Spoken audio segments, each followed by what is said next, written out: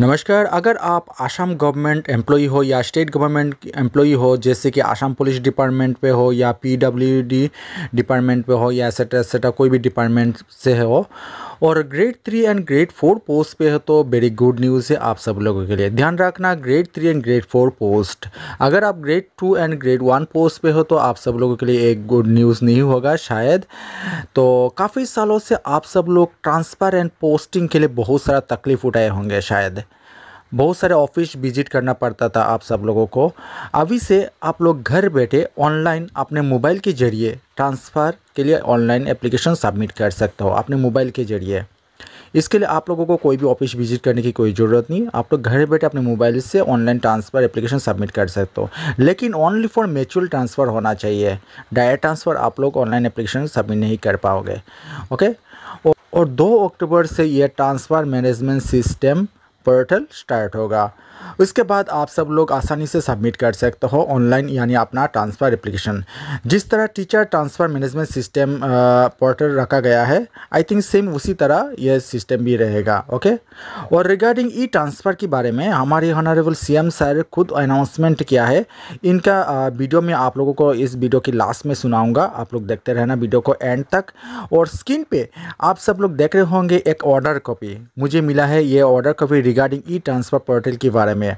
जहाँ पे क्या लिखा गया है, आप लोग खुद रीड कर सकते हो। अगर आपको ये ऑर्डर कॉपी चाहिए तो कमेंट बॉक्स आप लोग मैसेज कीजिएगा, मैं आप लोगों को सेंड कर दूँगा ओके एंड दो अक्टूबर के बाद मैं आप लोगों को दिखाऊँगा, किस तरह ई ट्रांसफ़र पोर्टल पे ऑनलाइन एप्लीकेशन सबमिट किया जाता है म्यूचुअल ट्रांसफ़र के लिए। तब तक के लिए आप लोग वीडियो को पूरा लास्ट तक देखिए। एंड मेरा चैनल जो है चैनल को सब्सक्राइब करके रखना एंड चैनल के साथ जुड़े रहना, ताकि इस तरह इंपॉर्टेंट वीडियो आप लोगों को इसी चैनल से मिलते रहेगा। चलिए मैं आप लोगों को हमारे ऑनरेबल सी सर का जो अनाउंसमेंट किया है उन्होंने उनका वीडियो मैं आप लोगों को सुनाता हूँ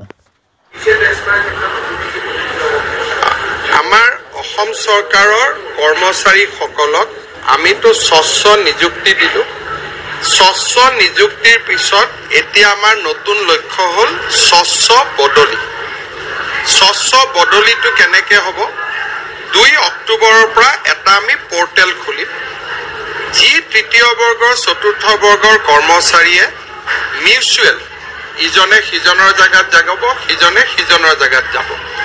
এইটো পৰ্টেল চৌব্বিছ ঘণ্টাই খোলা থাকিব ইয়াৰ কোনো দিন আৰু বাৰ নাথাকে।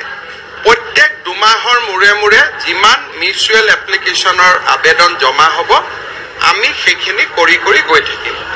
কিছুমানে যদি মিউচুৱেল কৰিব অসুবিধা অলপ ঘূৰাই পেলাই কৰিব লাগে। যে কোনোবা লখিমপুৰৰ পৰা ধেমাজিত যাব ধেমাজিৰ পৰা তেজপুৰত যাব তেজপুৰজন আকৌ লখিমপুৰত যাব। অলপ যদি একা বেকা বাটেৰেও যদি মিউচুৱেল হয় আমি সেইটোও এলাউ কৰি দিম।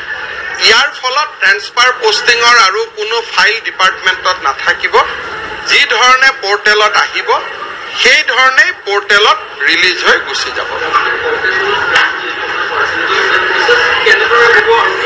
ইয়াতে আমি এটা চিন্তা কৰি আছো যেনেকে অসম চৰকাৰৰ কৰ্মচাৰী এজনৰ যেতিয়া মৃত্যু হয়